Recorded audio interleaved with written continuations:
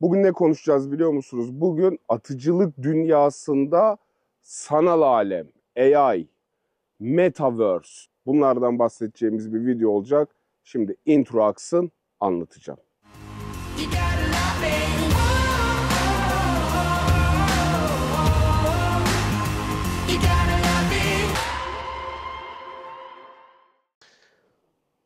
Bu aslında birkaç sistemin birleşmesi. Ace XR diye bir marka Shot Show'da yeni ürünü olan bir antrenman sistemini lanse etti. Quest 2 ve Quest 3 ile beraber çalışabiliyor. Normalde Quest 3 sadece şu öndeki sistemken biz geçtiğimiz haftalarda daha büyük bir bataryalı böyle bir headset aldık. Şimdi gelin sanal dünyaya geçelim. Sizle beraber benim neler gördüğümü size de anlatayım. Şimdi bu sağ ekranda görmüş olduğumuz şey ben hem çevremi görüyorum hem kamerayı görüyorum. Doğakan'ı görüyorum öndeki kameralarla. MetaQuest evrenin içerisindeki uygulamalar. Bizim için önemli olan şey buradaki ACE uygulaması. Şimdi buna bastım ve sanal dünyaya geçiş yapıyorum. Şimdi yerde kendi atış alanımı belirliyorum. Diyorum ki burası benim güvenli ortamım. Sistem Doğukan'ı algıladığı için. Doğukan biraz daha beraber geri gidelim. Evet. Yeri de algıladık. Alanımızı çizdik. Gayet güzel, yeterli. Dev gibi bir alan. Her şey güzel. Şimdi burası diyorum ki burası benim sınırım. Sınırımı onayladığımda şurayı birazcık düzleştirebilirim. Şurayı birazcık büyütebilirim. Evet bu alan. Şurada masalara çarpmamak için güzel. Tamam. Ve diyorum ki onayla. Şimdi sanal dünyaya geçiş yapıyoruz. A6R pratik yapmak isteyen silah kullanıcıları için muazzam bir çözüm.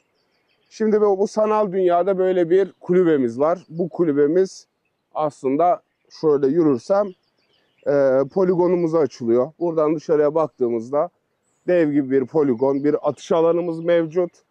Burada odanın içinde yürüyebiliyorum, gezebiliyorum. Burada bir silahlığım var. Bu silahlığımın üzerine dokunduğumda silahımı tamir edebiliyorum. Bu Stakko bir tane 2011 var. Burada da bir dev ekranım var. Buna bastım. Burada antrenman yapabileceğim silahlar mevcut. Şimdi biz neyle antrenman yapalım? P320 var, Sig Sauer, Stakko var, P320 365 X Makro var. Glock olan işte Glock, Glock platformu olan Shadow sistem var. Yine Sig Sauer'lar, Stakko'lar, JPL'ler, Voltur'lar, CZ Shadow 2. Hadi bununla yapalım bugün. Bunu diyorum ki Cost, Customize. Bunun üzerine bir tane Red Dot takmak istiyorum. Silahımın üzerinde yok. Ne takalım? Görmüş olduğunuz bir sürü Red Dot var. Bir tane SRO takalım. Taktık SRO'yu. Bunda şarjör var mı farklı? Yok. Tamam bunu da aldım. Görmüş olduğunuz üzere elimde bir tane Shadow 2. Üzerinde e, geçtiğimiz haftalarda Trijikon'la büyük ihtimalle anlaşmalarında bir sıkıntı çıktı. Red Dot'ım da var. Şimdi geliyorum burada. E, Trees dediğimiz şey serbest antrenman yapabileceğimiz bir yer. İlk önce bununla başlayayım. Burada under cons- construction içinde olanlar var. Mesela hepimizin bildiği bir e, Taran Tactical'ın poligonuna gelin gidelim. Evet. Burası Taran Tactical'ın Los Angeles'taki poligonunun birebir aynısı. Elimde bir tane CZ Shadow 2 var. Aşağıya doğru baktığımda bir shot timer'ım. Burada kılıfım var. İstersem silahımı bir kılıfım varsa bunu koyduğumda biple beraber kılıftan da antrenman yapabiliyorum. Silahın üzerinde şarjör düşürme mandalım var. Aynı pozisyonda bakın bastığımda şarjörüm düştü. Yerde görüyorum. Dolu şarjörü takmak istediğimde burada birazcık role playing giriyor işin içine. Aldım, taktım. Sonra red dot'ım aktif. Slide hareket ettirmek istediğimde tuşumun üzerinde bir joystick var. Bunu geri çektiğimde boş fişeklerin yere gittiğini görebiliyorsunuz. Şarjörü doldurdum ve atış alanımda Taran Tactical'ın olduğu yerde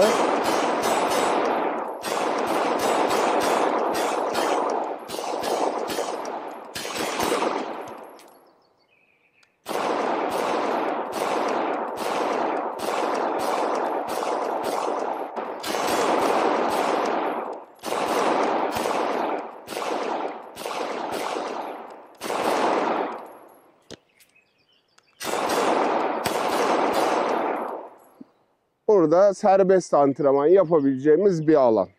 Ama biz farklı disiplinlerde antrenman yapmak istiyorum. Ee, burada drillere girip içeride bir sürü drill mevcut. Hadi oraya kadar gideyim. Önümde birazdan şunu da göstermiş olurum. Şimdi ekrana yaklaşacağım bir sanal dünyadayım. Bakın masanın oraya geldiğimde sistem bana diyor ki bir dakika alanından çıkıyorsun. Burada da bir tane engel var. Buna çarpma diyor. Eğer bunu geçersen buradaki sanal dünyadan seni çıkartıp gerçek dünyaya öndeki kameraları açıyor. Şimdi ilk önce ne yapalım? Ee, sabit bir atış yapalım. Mesela Ghost Partitions şuradan Dub Drill Trigger Finger Hmm. Burada Erik'in hazırlamış olduğu bir stage de var. Gelin buna bakalım. Evet onu tıkladım.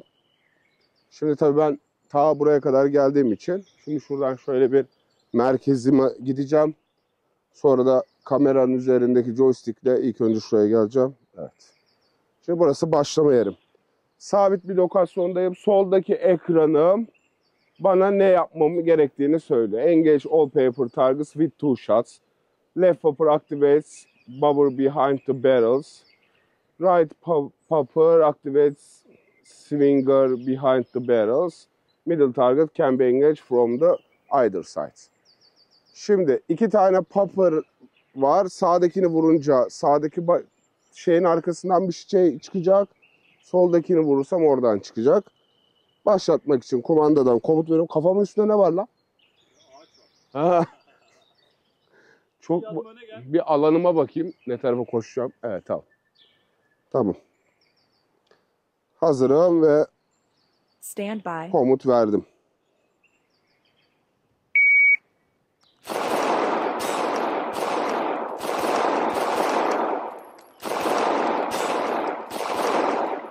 Evet. Atışımı yaptım. Atış bitince kumandadan basıyorum ve puanlamamı görebiliyorum. Hit faktör 6.42. Vuruş zamanlarımı hedeflerin üzerinde görebiliyorum. İstersem yürüyerek bir alanım varsa ama alanım yoksa hedef kağıdına kafamla sanal bir joystick yaparak oraya ışınlanıp papırın neresinden vurdum. Hedef kağıtların neresinden vurdum. Bütün hedef kağıtlarını gezip vuruş noktalarımı görebilirim. Sonra da başlangıç noktama gelebilirim. Yeniden yapalım.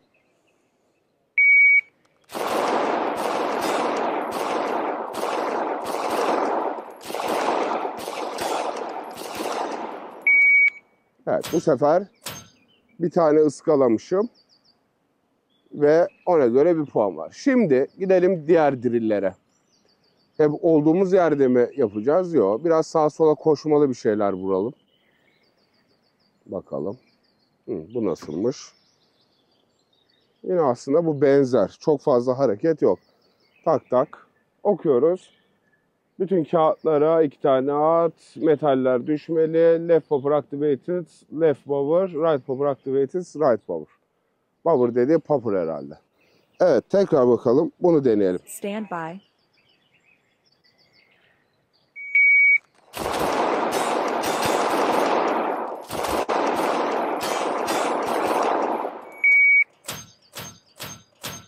Evet bu sefer güzel bir zaman aldık. Hit faktörümüz 134.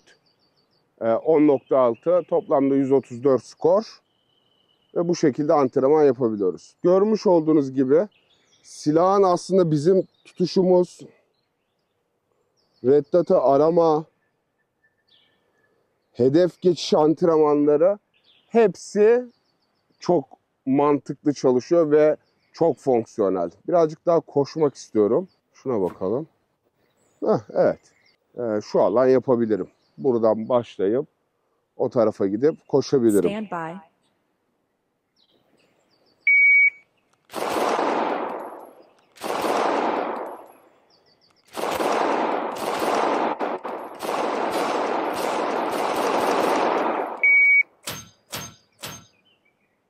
Evet, hit faktör 5.83 ve burada görmüş olduğunuz gibi sağımda solumda iki tane şey var. Dolayısıyla o kadar realistik ki e, geçerken siz her ne kadar kameradan izlerken böyle garip bir görüntüde olsa bize çok fazla öyle gelmiyor. Target Identification, Accuracy, Sight. Bunlar da e, seriler. Daha fazla koşabileceğimiz bir şey var mı ona bakayım. Hazırsak buradan mı başlamak mantıklı, oradan mı başlamak mantıklı düşünüyorum.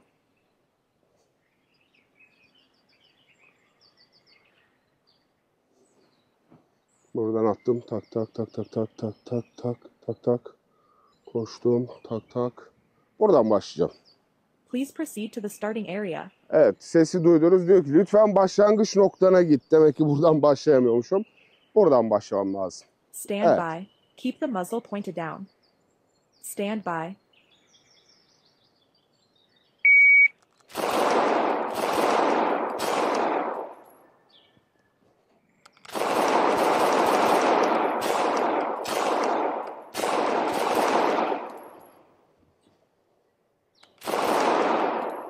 Hmm. Hit faktör 5.72. Evet.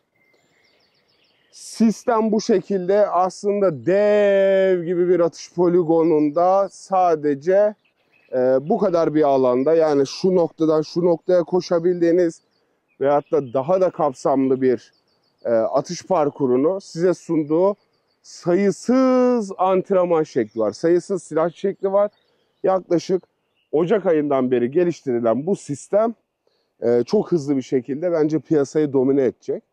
Bireysel atıcılar için, bakın kanter içinde kaldım, nefes nefese kaldım. Gerçek antrenman performansına çok yakın. Tekne yok. Elinizde realistik hissettiğiniz bir geri tepme yok. Ses, kulaklık çıkışları kulağa çok yakın olduğu için ses de çok gerçekçi. Yani kulağınızda duyabiliyorsunuz bunu hedef geçişlerinde, tetik kontrolünde e, gerçekten çok büyük fayda sağlayacağını düşündüğüm sistem. Şu anda e, bunu Türkiye'de alabilir misiniz düşünüyorum. Şimdilik alamazsınız sanırım. Nedeni de aslında çok saçma. E, MetaQuest 3 Amazon'da, Teknosa'da birçok yerde var.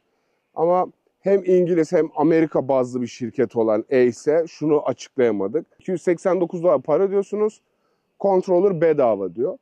Ama Türkiye'de biliyorsunuz geçtiğimiz haftalarda normalde 150 dolardan 30 dolara düşen bir gümrük e, bedeli hikayesi oldu. Dolayısıyla bunu artık Türkiye'ye getirtebilmek bir hayal oldu.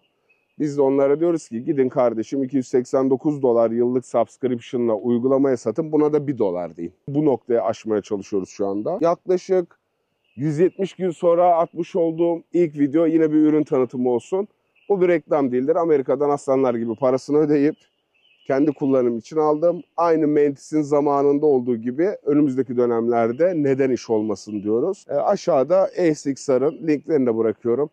İlla ki bizden olmasına gerek yok. Amerika'ya gittiğinizde, İngiltere'ye gittiğinizde ürün tedarik etmek isterseniz aşağıdaki linklerden ulaşabilirsiniz. İzlediğiniz için teşekkür ediyorum. Hepinizi çok özledim. Daha sık görüşmek dileğiyle. Hoşçakalın.